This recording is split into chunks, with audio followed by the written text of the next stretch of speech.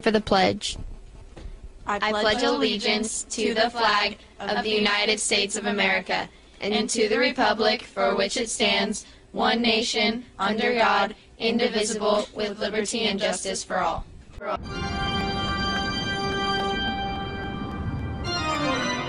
Hello, boys and girls. It's time to go trick or treating. So be sure to light your pumpkins. I was working in the lab late one night when my eyes beheld an eerie sight. For my monster from his slab began to rise, and suddenly, to my surprise, he did the mash. He did the monster mash. Good morning, Dons. I'm Nicole. And I'm Matea. Today is Tuesday, October 29th. We have lots of announcements for you today, so let's get started. Are you ready for the SATs? Let the Amador PTSA help you. There will be an SAT mock test on November 9th from 8 to 12.30. The cost is $25. You can contact Alicia Bamer at aliciabamer at gmail.com with any questions. Now we have some announcements for the seniors. The senior ad website is still accepting ads, so please go to yearbookordercenter.com and you can place your ad. The instruction sheet is on Mrs. Foley's website and on the Amador website under walkthrough registration. The final deadline for ads is coming up, so make sure to do this soon. The price of an ad is $125. And now we have a sports recap.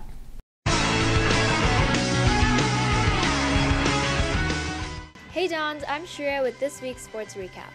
Last week was another good week for Amador, so let's get to some highlights.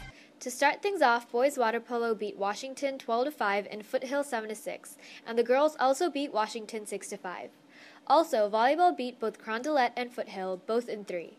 Tennis cruised to an 8 to 1 win, also over Carondelet. Cross country participated in the Mount Sac Invitational, where the varsity girls placed first and varsity boys placed fifth. However, football lost its third game of the year against De La Salle on Friday night with a final score of 62 to 14. That's it for this week now, Dons. We will see you next week. And now we have a special segment about a former Amador Valley grad. Hey Dons, I'm Sophia, and today we have a special segment about a former Amador grad named Kevin Laue. Kevin was born with the left arm that ended at his elbow, and although his parents originally encouraged him to play soccer, he realized that his true calling was basketball. He had a few setbacks at first, but by 8th grade he had figured it out. Not only could he handle a ball with one hand, but he had an amazing dunk. Kevin attended school and played basketball here at Amador, and he was even featured in Sports Illustrated in 2007 when they called him the most exciting player in basketball. Kevin eventually went on to attend Manhattan College and play Division I basketball. Kevin, along with being a unique player, has been on a profound journey after high school. He's back here in Pleasanton now promoting a new movie about the story of his life called Long Shot, The Kevin Laue Story, which is actually in the running for an Academy Award nomination. He was here on Friday visiting classes and some former teachers, and I was lucky enough to get to sit down with him for an interview. Hey Dons, I'm Sophia and I'm here with Kevin Laue, a former Amador student who has quite an amazing story to share with us. So Kevin, what was what has life after high school been like for you? Uh, it's been pretty crazy. Uh, I got a full ride at Manhattan College in New York, and New York's a little bit different than Pleasanton, Mhm, for California. Uh, so it's it's been fun and exciting. That's awesome. much. So you've been traveling around the country and now you're here promoting a movie. Can you tell us about that? Yeah, yeah, yeah. I have been traveling quite a bit, doing motivational Mhm. speaking internationally and everything. And uh, they filmed a, a movie about me uh, for about the last seven years, starting when I was a junior in high school at Amador.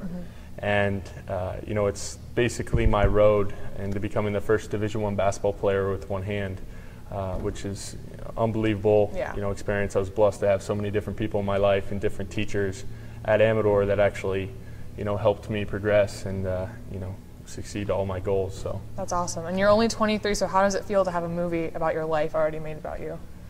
A little strange, not gonna lie. a little weird. Um, it's it's exciting. I mean, it's unbelievable for my family to see it and everything. Uh, you know, I can't wait. We're playing at the uh, Vine Cinema Mhm. in Livermore until Thursday of next week. I think October 31st. Awesome. So uh, yeah, hopefully everybody can support it and uh, talk to your teachers about getting extra credit for going and seeing it. And Awesome. yeah, it'd be Well, great. thank you for being here. Hey, and pleasure. yeah. My pleasure. Awesome.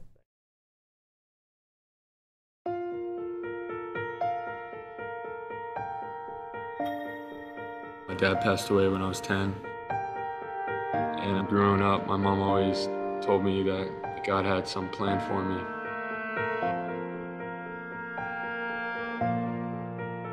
given my circumstances, I didn't think that was true.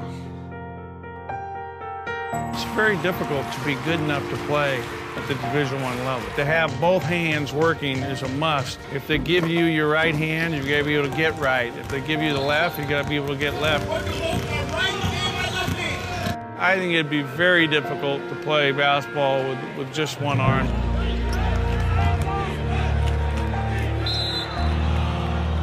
You are really at a disadvantage with just one arm.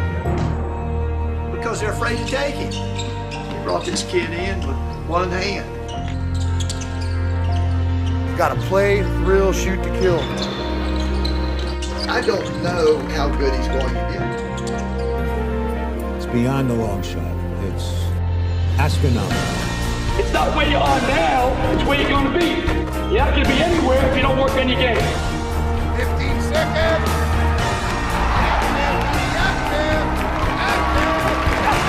Playing hard.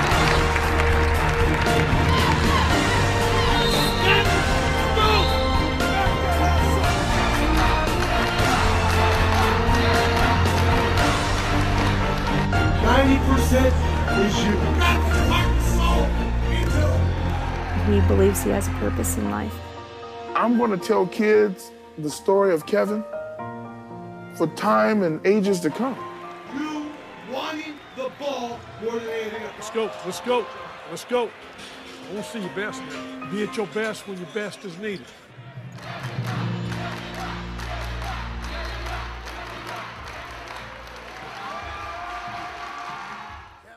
Well, that's it for today, Dons. Make sure you check out Kevin's movie, which is playing at the Vine in Livermore up until Thursday. Thanks.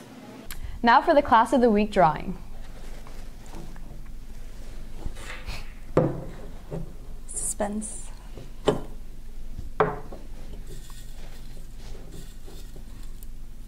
Congratulations to Mrs. Texon. Remember to call at extension 5279. Well, that's it for today, Dons. And remember, it's always a beautiful day here at Amador.